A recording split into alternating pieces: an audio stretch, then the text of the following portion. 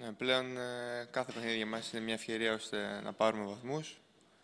Έτσι όπως έχουν έρθει τα πράγματα, είναι πολύ σημαντικό να πάρουμε κάτι από αυτό το παιχνίδι και για βαθμολογικό εννοείται σε βαθμολογικό επίπεδο, αλλά και σε ψυχολογικό. Πρέπει να εμφανιστεί έτοιμη γιατί έχουμε μείνει αρκετά πίσω ε, και νομίζω ότι πρέπει να υπερβάλλουμε αυτό για να πάρουμε κάποιους βαθμούς. Εντάξει, νομίζω ότι σε όποια έδρα και αν παίζαμε τώρα αυτή τη στιγμή ε, θα έπρεπε να πάρουμε βαθμούς. Ε, υπάρχει σεβασμός για, το, για την ομάδα του ΠΑΣ, αλλά νομίζω ότι θα πάμε για να διεκδικήσουμε την νίκη.